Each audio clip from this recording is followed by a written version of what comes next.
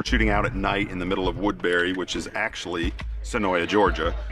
We don't want to wake up the neighbors at 1 o'clock in the morning with machine gun fire, so we use a much more suppressed round. These are regular brass rounds, but they only have an eighth of powder round so that you can see a big flash, not a lot of noise.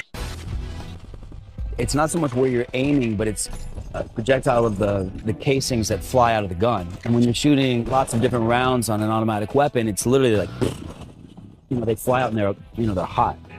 Awesome, bro. like you were so pissed off. Your eyes like. That's awesome, dude. You look so angry. He, he thought I shot him at one point, but actually I just moved his hair a little bit, which is probably worse. There you go, right there. I had this beard for the next movie that I'm going to do, and um, I, I was worried that the beard was going to keep me from being here because I don't quite look like Shane, but I think it ended up working out well. We get Jon Bernthal back. He was just on the way to doing the new Scorsese movie, and he's kind of built up even more than he could possibly be. He's like Bernthal to the power of Bernthal. He's super Bernthal.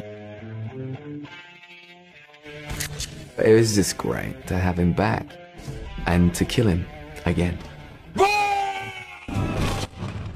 And of course, he shoots him with his super hand cannon main python gun. So now he's stabbed me, he's kicked my dead body, screamed at me.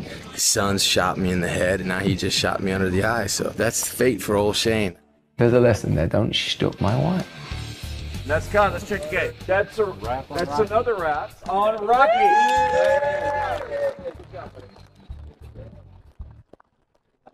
Thanks for having me, everybody.